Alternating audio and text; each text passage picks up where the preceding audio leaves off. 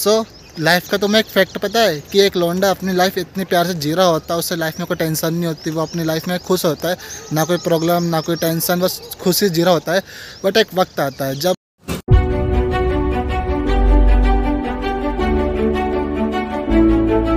so hello good morning this is your फाइनोक seven F and स्वागत है आप एक नए ब्लो रोस्ट में। तो यार, अभी एक्सरसाइज हो चुकी है चलते चलते मैं घर जा रहा था चलते चलते मैं थक गया। अब यहाँ के थोड़ा बैठा हुआ बस स्टॉप के ऊपर। एंड अब माइंड में सिर्फ़ एक ही चीज़ चल रही कि काश मेरी भी बंदी होती यार। मतलब मैंने क्यों ब्रेकअप कर लिया? क्या ब्रेकअप हो गया? मेरी भी बंदी होती ना तो भाई मज़ाक से के क्या दिन होते। मैं भी दवारा होता। सॉरी नहीं नहीं नहीं। मतलब वो मेरी दवारी होती पैर यार, बस मुझे भी किसी मिल जाए, इसको मैं दबा सकूँ। मतलब दबा सकूँ अपने पैर। खैर छोड़ो, ये तो हो नहीं सकता। मुझे मिल नहीं सकती। दबाने वाली। मतलब पैर दबाने वाली। बट मिल जाएगी इन फ्यूचर बट मेरे चक्कर में मेरे दोस्त की लंका लग चुकी उसके एल लग चुके पूरी लाइफ के। पता है कैसे? आ, मैं आपको याद होगा मैंने अपने लास्ट ब्लो रोस्ट में बताया था कि वो बंदा बोल रहा है उसकी बंदी उसको चीट कर रही है रिप्लाई टाइम पे देती हाँ हूँ करती रहती है। तो मैंने एक वीडियो बनाई थी लास्ट ब्लॉग में आपने देखा होगा। तो उसने उसी का देख कर अपनी बंदी से पूछ ही लिया कि तुम मुझे चीट कर रही हो क्या? और उसकी बंदी बोलती तुम्हें मुझ पर शक हो रहा तुमने मेरे पर शक कर रहे हो ये वो फलाना ठिकाना तुम पे मुझे विश्वास ही नहीं है। और ये बोल के उसने ब्रेकअप कर लिया। अब मेरा फ्रेंड आराम से घर पे बैठ बैठ रो रहा है आँसू निकाल रहा है तब उसके सीन दिखाता हूँ तुम्हें।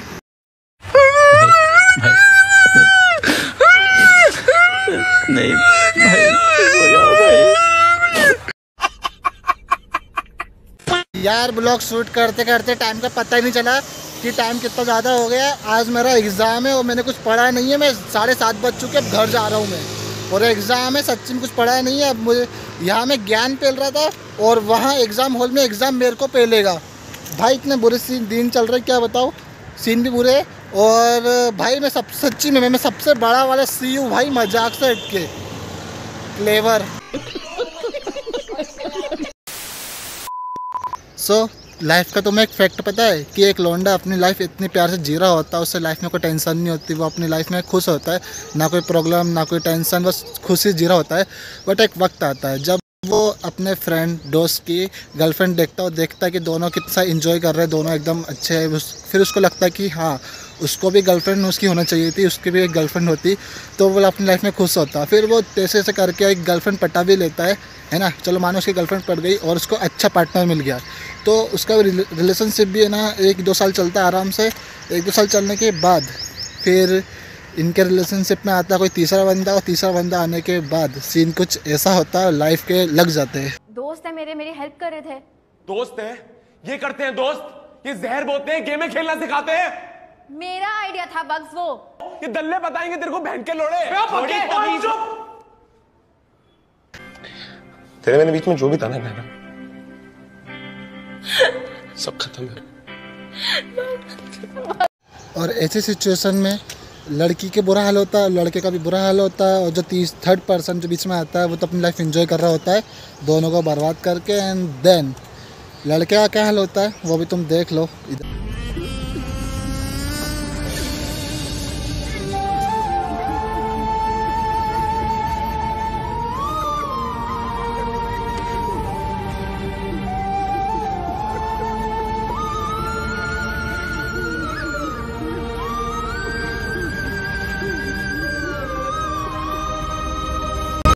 हाँ तो ये वो मोमेंट होता है जहाँ लोंडे पूरी तरह टूट जाते रो रो के अपना हाल ख़राब कर लेते हैं, उन्हें कुछ पता नहीं होता उन्हें करना क्या है। कुछ तुम्हें पता ये होता कि what's the main reason of it why all peoples all boys are do it इसका एक ही रीज़न है, क्योंकि अपन जो लोंडे होते हैं ना, वो अलग ही प्रकार के होते हैं। मतलब अपन ना रिलेशनशिप को अपन सीरियसली लेते हैं। चाहे अपन ने पहले इस टाइम पास के लिए करा हो वह टाइम के साथ साथ उनको सीरियसली ले लेते हैं। एंड देन अपन मतलब हार्टली कनेक्ट हो जाते हैं।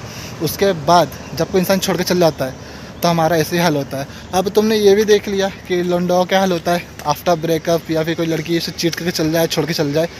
आ, तुम ये भी देखना चाहोगे? अब इसके बाद क्या होगा?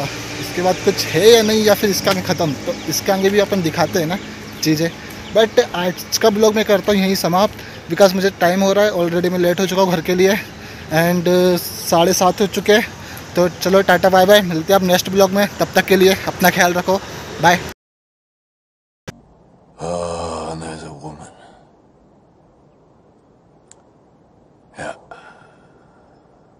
A woman.